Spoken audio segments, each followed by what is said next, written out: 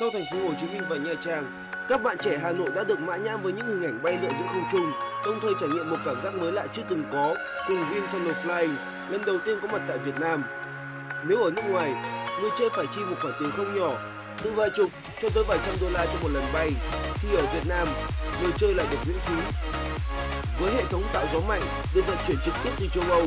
mô hình bay này giúp người chơi được trải nghiệm cảm giác bay bổng trên cao mà không cần mang bất kỳ thiết bị công kênh nào ngoại trừ trang phục bảo vệ an toàn. Cùng sự hỗ trợ của các chuyên gia nước ngoài, tất cả những gì người chơi cần có là sức khỏe và sự bình tĩnh cần thiết để giữ thăng bằng trên không.